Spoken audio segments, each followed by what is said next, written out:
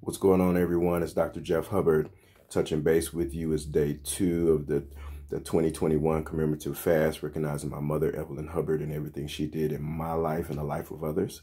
Um, guys, associated with this video, you'll see some before pictures.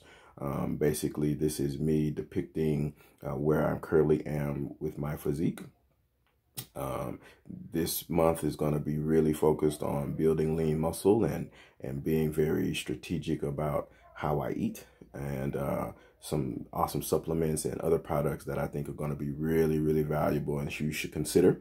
Um, and so, guys, uh, currently weighing 172. Um, so because of my height and, and weight ratio, um, that gives me a BMI of 26.2.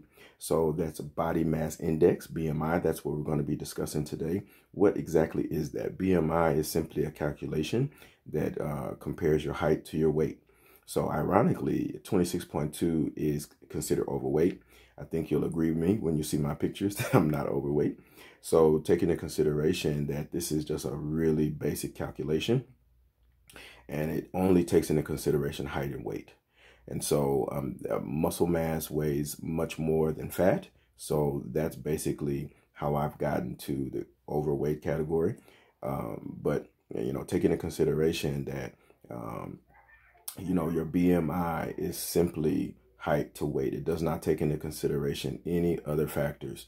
And so if your uh, BMI is higher than you like it to be or lower than you like it to be, that's okay. Um, just take that with a grain of salt and consider that in the whole aspect of where you are um, with your health. But this is a very common and very popular uh, sort of calculation to determine where you are on the scale of obesity and weight. Okay, so you might hear that you often and frequently used uh, by your practitioner or by somebody who you're working with to kind of determine where you are on a spectrum. And that's simply it. You just kind of kind of place yourself in that spectrum. Um, but obviously, there's some people who are really uh, would be considered obese, maybe even type 3 obese, who are extremely athletic, NFL players, etc. And then there may be people who are in uh, the the good category of BMI who aren't healthy at all, and uh, you know don't necessarily have good cardiovascular fitness and, and don't have any stamina. So you know take into consideration all of those things when you're thinking about BMI. So guys, I'm, I'm so super excited to uh, share with you uh, this fast this month. Um, you know, I'm always thinking about mom, but this is a special time in my life where I really emphasize and focus on her.